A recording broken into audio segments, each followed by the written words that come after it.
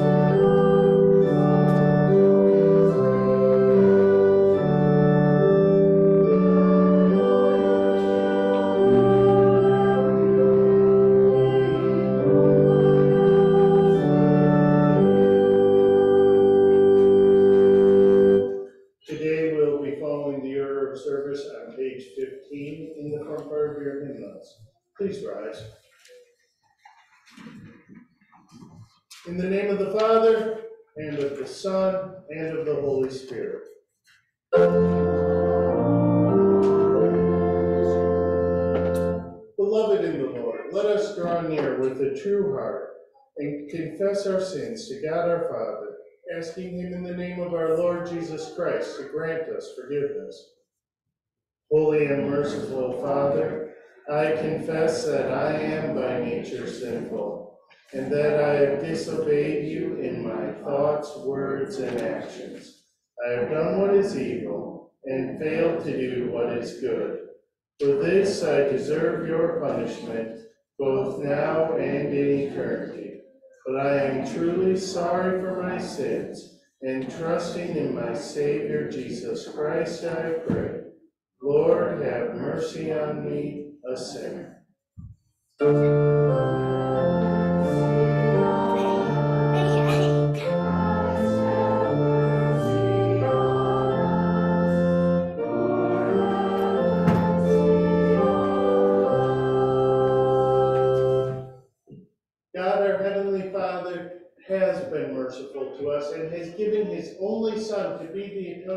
Sacrifice for all of your sins. Therefore, as a called servant of Christ and by his authority, I forgive you all your sins in the name of the Father, and of the Son, and of the Holy Spirit.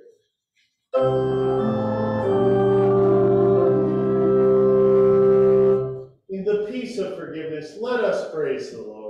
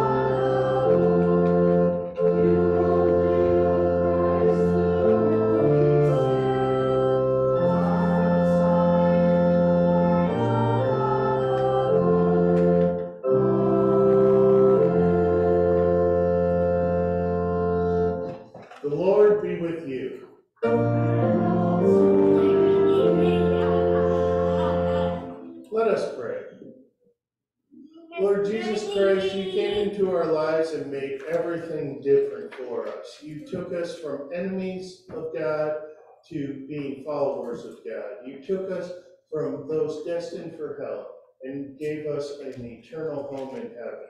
Lord, in making these changes for us, you have changed our lives completely. Now lead us to see the change that we can bring to others through bringing them your wi- word and exposing them to your will. We pray this, Lord Jesus, in your name, for you live and reign with God, the Father, and the Holy Spirit, one God, now and forever.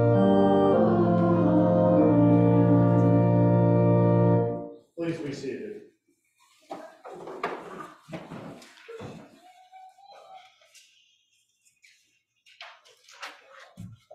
Today's first lesson comes from Proverbs twenty-five, verses six and seven.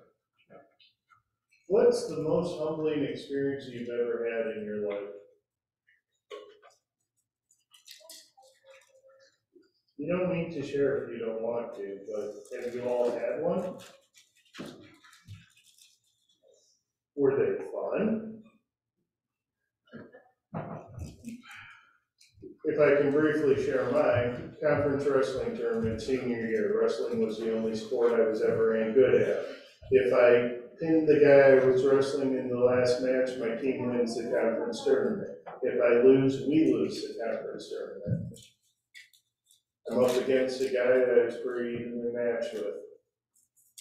Made a mistake, he rolled me over and was forcing me to my back for the pin and had cranked my head into such a position that I was staring at my coach and my entire team over here while I was losing the match. Oh, that was not fun. I need, I needed to be humble. Sometimes we need to be humble. And that's often when we're thinking of ourselves more highly than we ought. And Solomon, well, his words in Proverbs here are gonna find an echo in the words of Jesus in our gospel lesson. Don't think of yourself too highly. Instead, trust God and lean only on his glory. We read, do not honor yourself in a king's presence. Do not stand in a place reserved for great people. Because it is better to be told, Come up here, than for you to be humiliated before a ruler whom your eyes have seen. So far, the reading. We continue by singing the psalm of the day, Psalm 139A, found on page 116 in the Barker hymnal.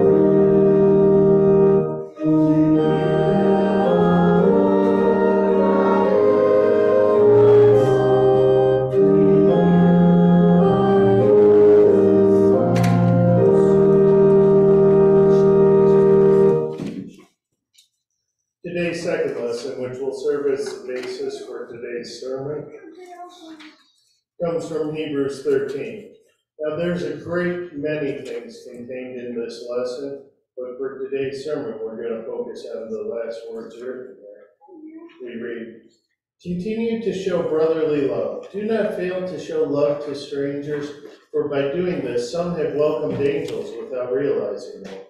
Remember those in prison as if you were fellow prisoners, and those who are mistreated as if you yourselves were also suffering bodily. Marriage is to be held in honor by all, and the marriage bed is to be kept undefiled, for God will judge sexually immoral people and adulterers. Keep your life free from the love of money, and be content with what you have, for God has said, I will never leave you, and I will never forsake you.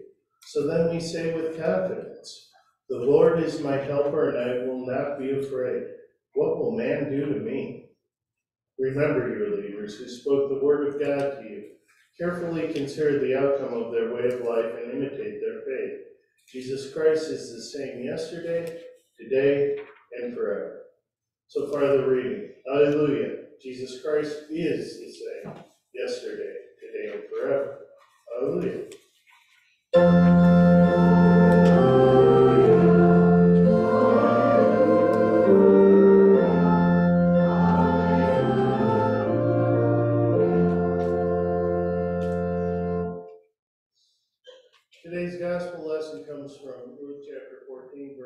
Then verses 7 through 14. Please rise for the reading of the gospel.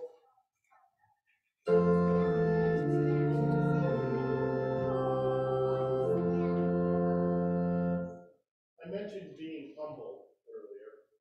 Why do people need to be humble?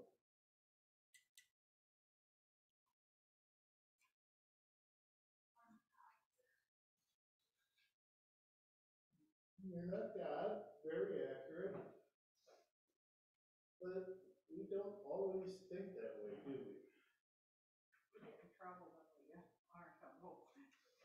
Has a bit of a sense of humor.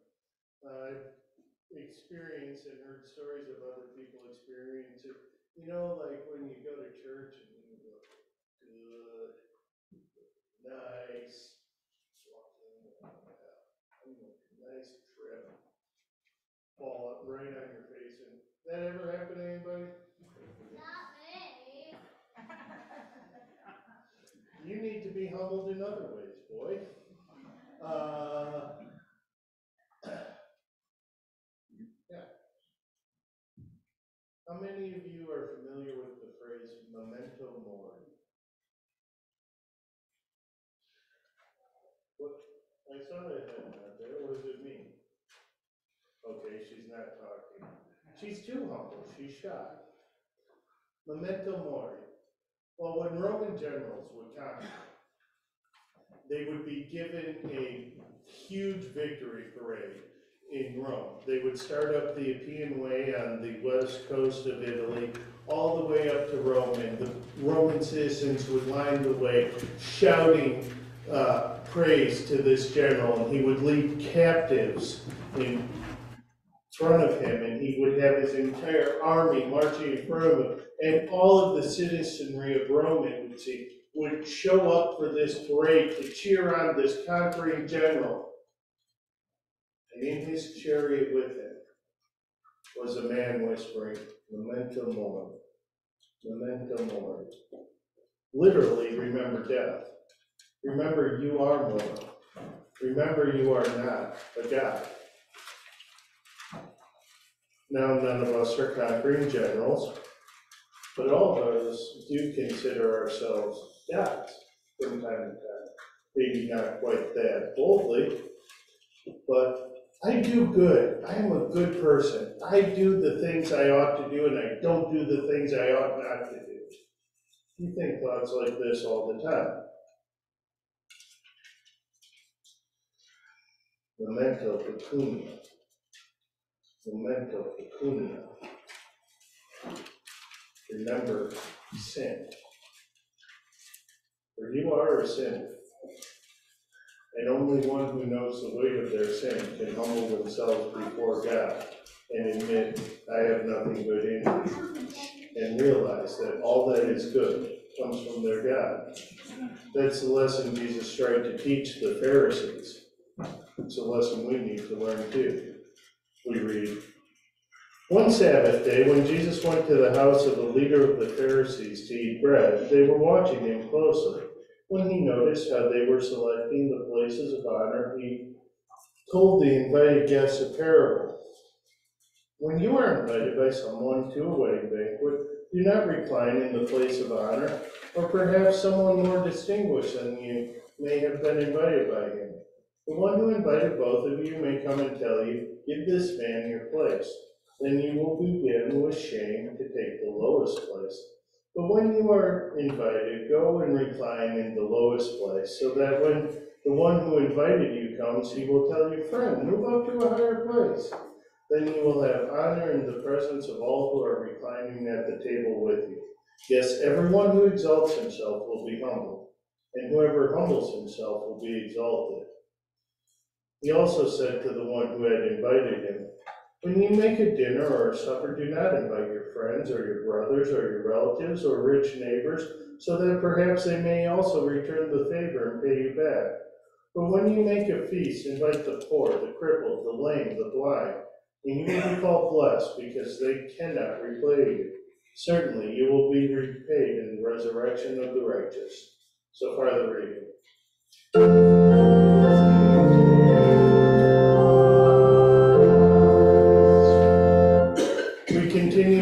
Confessing our holy Christian faith using the words of the Nicene Creed. We believe in one God, the Father, the Almighty, maker of heaven and earth, of all that is seen and unseen.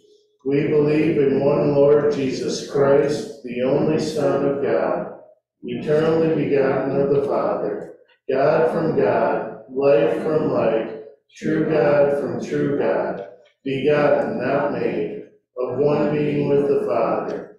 Through him all things were made. For us and for our salvation, he came down from heaven, was incarnate of the Holy Spirit and the Virgin Mary, and became fully human. For our sake, he was crucified under Pontius Pilate, he suffered death and was buried. On the third day, he rose again in accordance with the scriptures.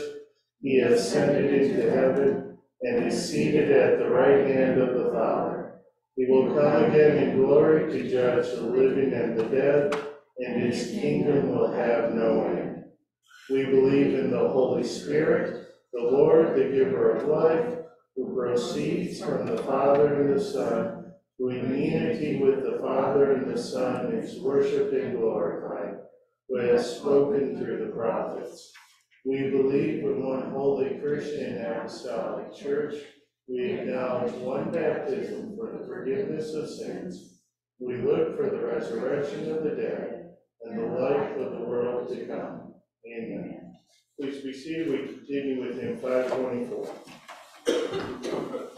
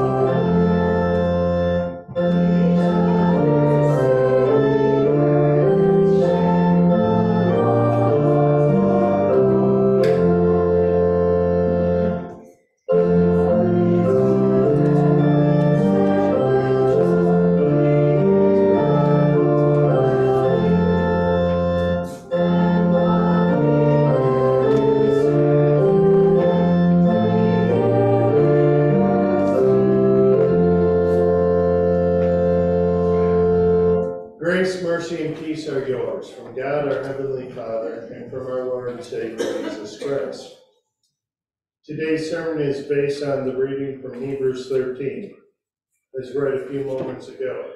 My dear fellow redeemed, the more things change, yep, more things change, the more they stay the same. Last week I asked you uh, what big changes you've seen in your time here on earth. And there's been a lot of them, right? Even in my relatively short time here, there's been a lot of changes. But has your life changed all that much?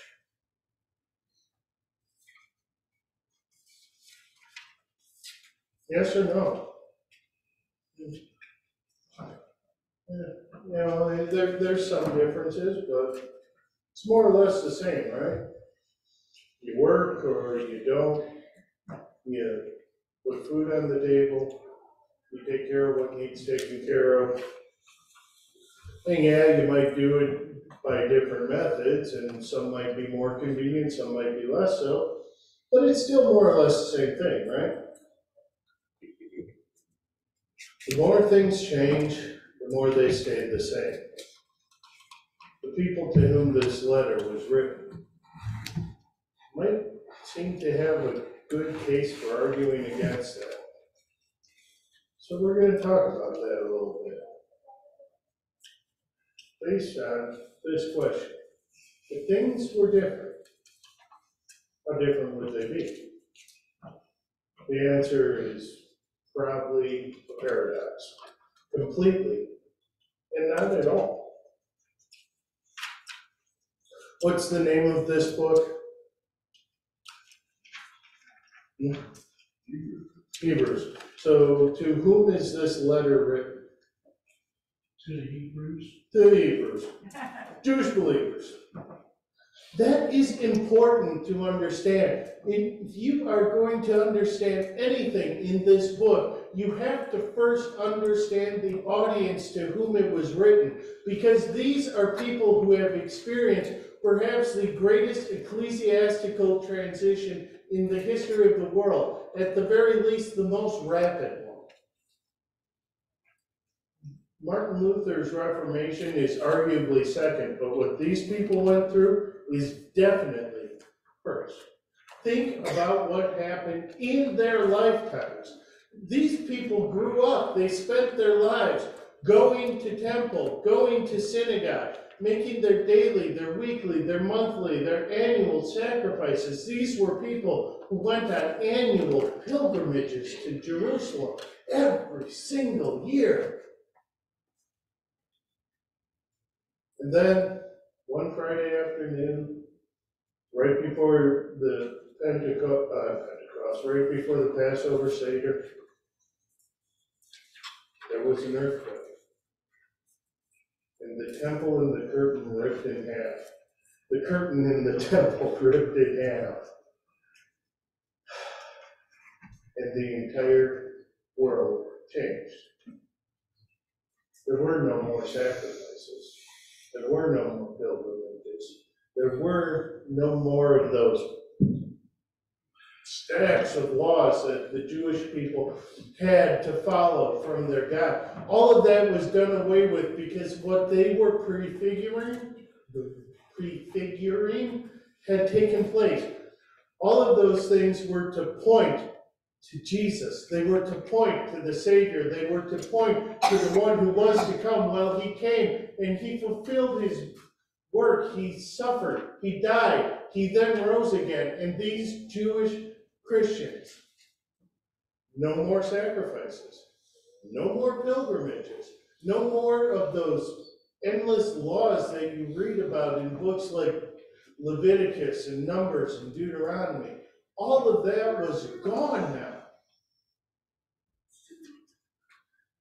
And yet the writer to the Hebrews says Jesus Christ is the same yesterday, today, and forever.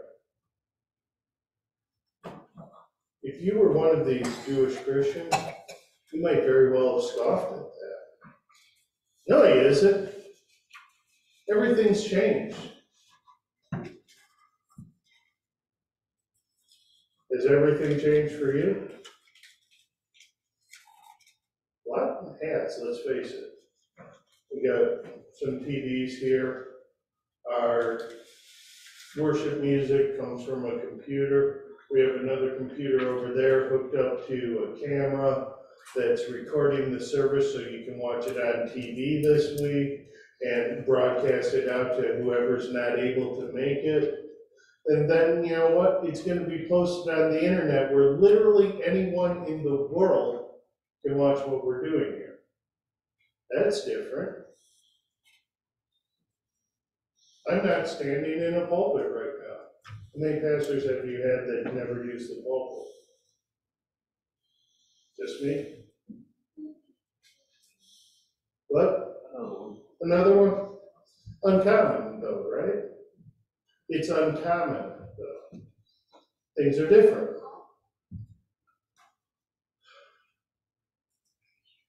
I'm not wearing a robe right now. It's different. And we do things in worship that, at least I've been told, have never been done here before. Like the accompaniment we have occasionally from Koine, things like that. That wasn't a common occurrence before, was it? Things are different. You ever find yourself wishing that they weren't? You ever wish for the good old days?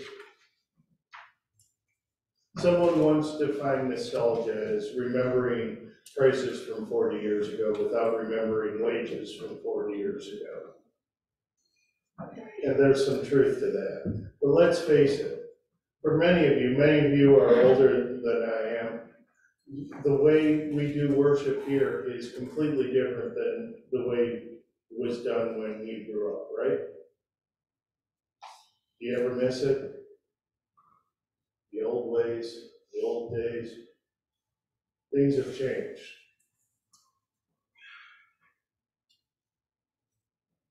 Why? Yeah, Charlie? I was gonna say things may change, but the word of the Lord is the same. Do you guys hack my computer? Charlie's taking my place. I'm getting so annoyed with you guys jumping about half a paragraph ahead of me in my sermons. Am I, am I preaching that obviously? Do I need to change it up a little bit? Or are you guys just that well trained?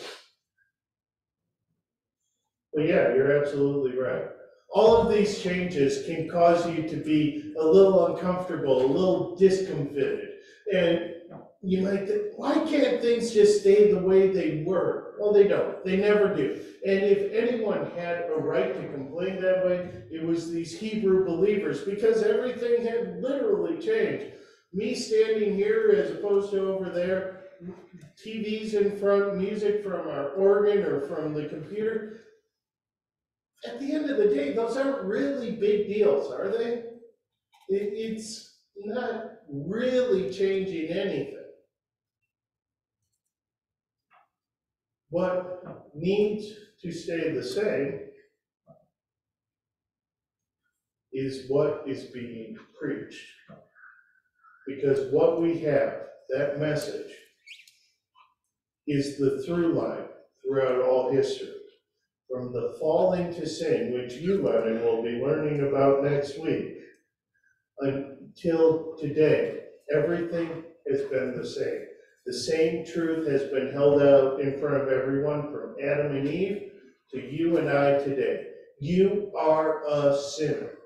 You have done what God does not want you to do. You have not done what God wants you to do. And you have a Savior. Jesus Christ is your Savior. That doesn't change. And God willing, that will never change in this building the love we have for the Word of God, the love we have for our Savior, our understanding of who we are in relationship to our Savior will never change. Yeah, the way we do things may be a little bit different occasionally.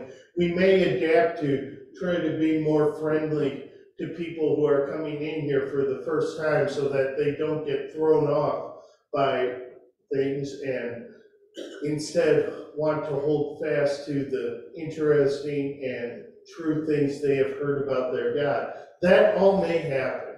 And to your credit, this congregation has been pretty, pretty good about dealing with all of that. But what will never change is the simple truth that we cling to every single day. Jesus Christ is your Savior from your sins and your only path to heaven. Pastors change. The way we preach changes. The things we use in our worship changes. But even as those change, the one thing that will always stay the same is our Savior. And as long as we cling fully, totally, and only to Him, what else will never change is the truth that you have a home in heaven. And there you will experience the greatest change of all time. All the bad things gone, and nothing but God's grace and peace and mercy held out for you forever. And that is a change we can all look forward to. Amen. Now may the grace of God, which transcends all human understanding, guard and keep your hearts and minds in true faith in Christ Jesus. Amen. Please rise and join together in singing the Created Me.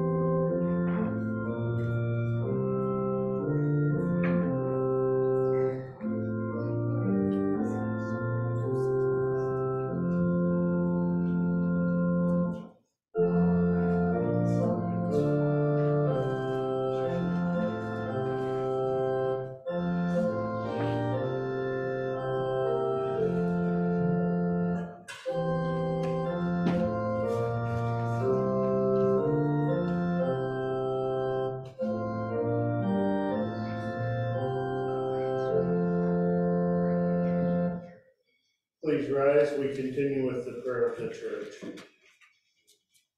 We pray, Lord of power and grace, whose eyes are on the righteous and whose ears are open to their cry. Hear the prayer of your people as we come now in thankfulness for the mercies that you pour down on us anew each day. Thank you for the gifts of your mighty providence. Make us mindful, O Lord, that you have provided us with life, breath, and being, and are the source of our daily bread. We praise you for the gift of your Son, Jesus Christ, whom you sent to be the Savior of the world. Grant that we may believe in him with all our hearts, learning from him the great truths of the kingdom, to which he bore faithful witness. Grant us your Holy Spirit, that we may produce the fruits of righteousness. May he endow us with unwavering faith, that we may always be ready to do your will. We pray for the nations of the earth, subdue terror and tyranny everywhere, and call forth leaders who acknowledge that you are Lord over all the earth. Bless our own land, and may it ever follow that which is good and turn from all that which is wicked, that our people may prosper in uprightness and integrity. Hear, O Lord, our cry for those who are afflicted. Grant them health in body and soul, and save them for your mercy's sake. And Lord, we ask that you be with our brothers and sisters in Broken Bow. As Pastor Nancis has returned the call, they are meeting together to to call a new pastor on September 29th. Please give them wisdom and guidance so that they may call the leader who will best serve their congregation. Lord, you know who that man is. Let them see that man and let them call him. Us, Lord, as we bring you our private petitions.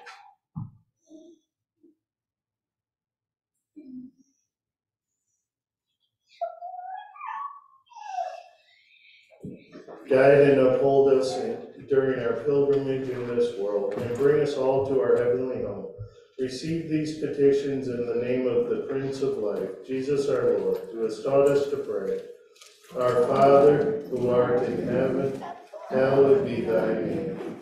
Thy kingdom come, thy will be done on earth as it is in heaven. Give us this day our daily bread, And forgive us our trespasses, as we forgive those who trespass against us. And lead us not into temptation, but deliver us from evil. For thine is the kingdom, and the power, and the glory, forever and ever. Amen. The Lord be with you.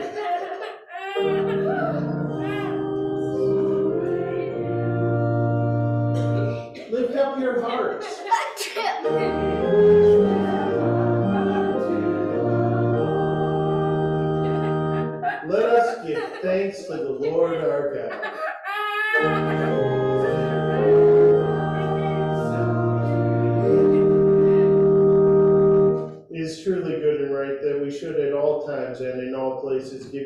thanks, O Lord, Holy Father, Almighty and everlasting God, through Jesus Christ our Lord, who promised that wherever two or three come together in his name, there he is with them to shepherd his flock till he comes again in glory.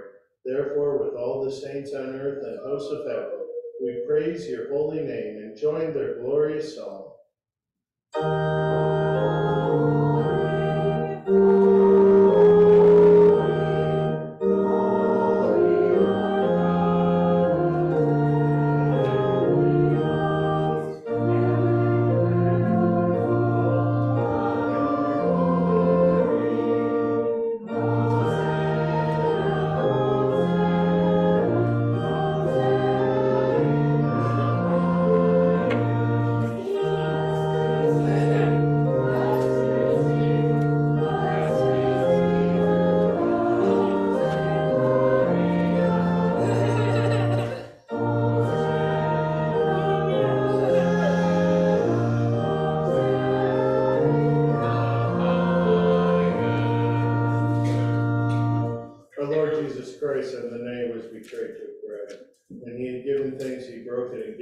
Disciples, saying, Take and eat, this is my body, which is given for you. Do this in remembrance of me. In the same way afterwards, he took the cup, gave thanks, and gave it to them, saying, Drink from it, all of you. This is my blood the new covenant, which is poured out for you for the forgiveness of sins. Do this whenever you drink it, in remembrance of me. The peace of the Lord be with you always. Thank you.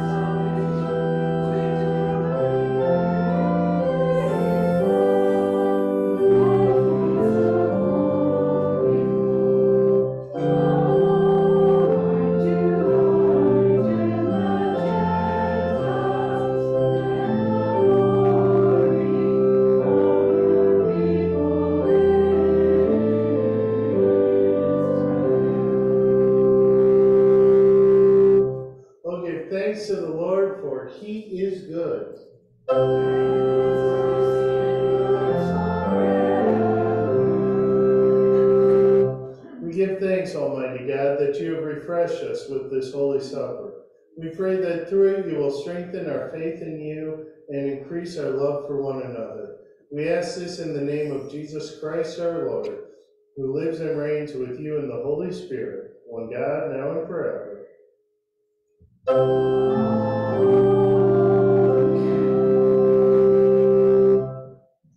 The Lord bless you and keep you. The Lord make his face shine on you and be gracious to you. The Lord look on you with favor and give you peace.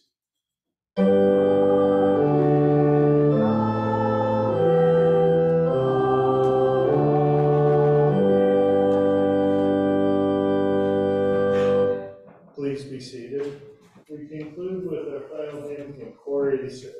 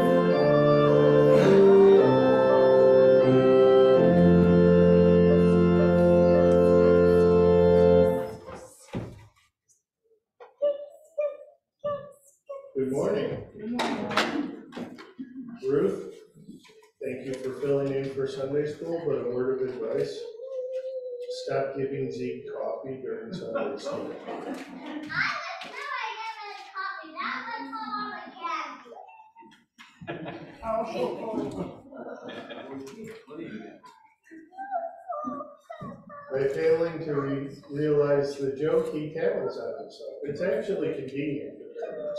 Um, Uh, as you probably heard in the prayer, the pastor who had received the call to broken bow has returned it, and they will be meeting a week from this Thursday to decide what direction they are going to go forward. And that's all I'm gonna say about that for about the next week and a half. So, that's the announcement on the Broken Bow front. There will be a Tabitha Society meeting after church here in the sanctuary. Yeah, here, so Tabitha women stay here in church. Stay in church, people. Um, other than that, I don't have much by way of announcements. Oh, one thing I would like to crowdsource some ideas on. We've we have a new parking lot, and I'm pretty sure you all saw that, right? Which provides us with an opportunity to reach out to a fairly captive audience during the week. And so we've had a couple of ideas brought to me. First of all, one of those little free library type stands that you see peppered around down here, filled with religious type books, some with kids type books, some are leftover forward in Christ or meditations that people can take, that sort of thing. And then putting up a bulletin board with announcements. Ostensibly, if anyone asks, the announcements are for you guys. But they happen to be publicly displayed so that whomever may want to read what's going on at our church has the opportunity to do that. And then we will advertise things like dinners and outdoor services, things that the public might be invited to. What the service is going to be this week, that sort of thing. So,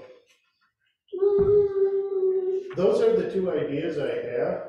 If you have other ways to reach out to the parents and teachers who park on what is essentially our property every day, let me know.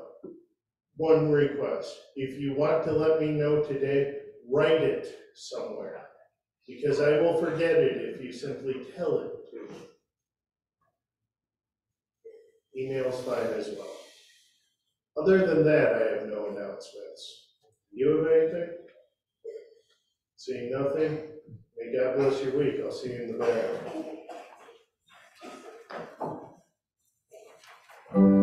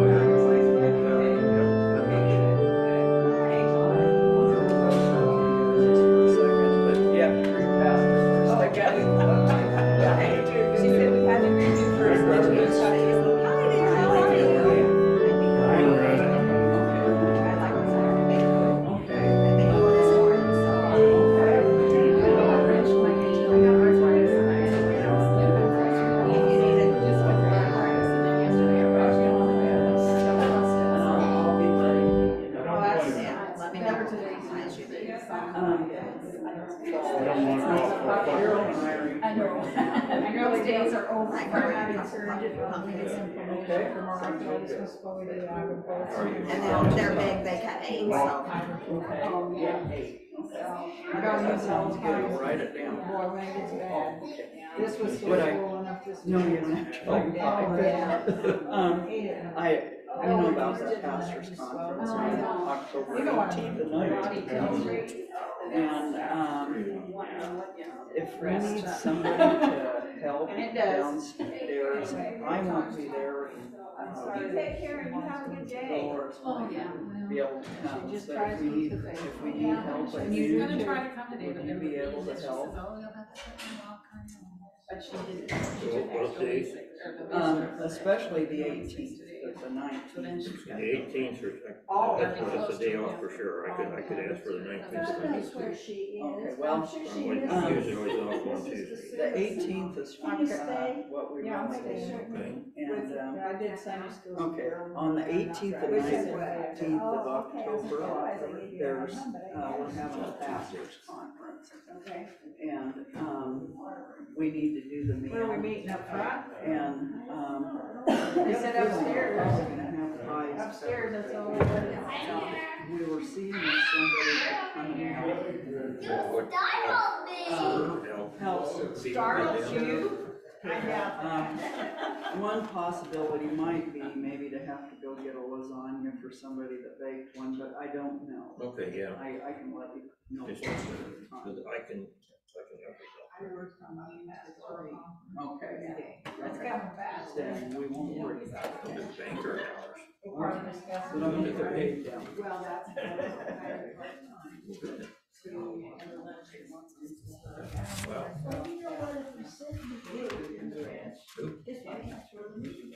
Okay, close to Caitlin because she's already settled in. Penny You Whiz. said I'm not. Really? Yeah. thank you. Yeah, yeah, well, If, if things change, I'm gonna, but that's why I Okay, covered lunches. yeah, then you're already up. Penny drives back and forth, and does that. Just a few hours. Oh, really? I didn't that. So I And then I can't go lunches. Pick on your. Are you joining us today? I don't mind it at all. You know, you're always welcome here. Thank you.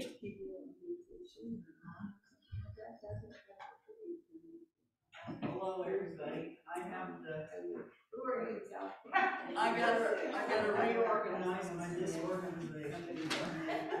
I've got your paper to give you, Carol. Things down. So that's why we did. Fifteen million. Oh, okay, 'cause Um, this.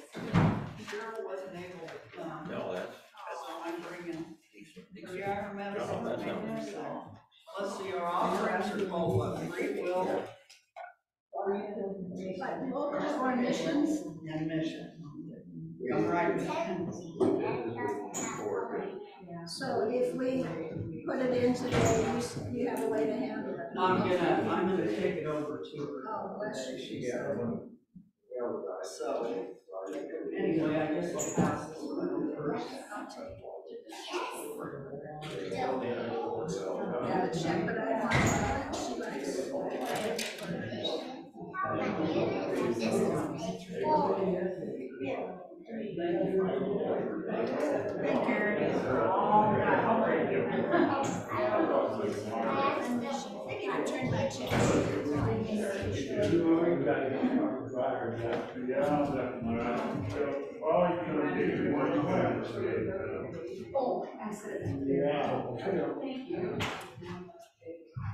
it.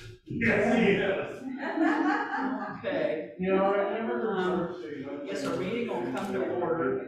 Um, Carol, the Lord, uh, Carol, we have some special. minutes. Does anybody need a card? Does anybody need any? And,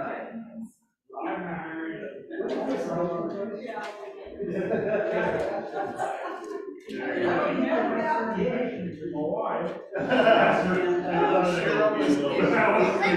uh, her medication palpitations are kind of making her sick, so.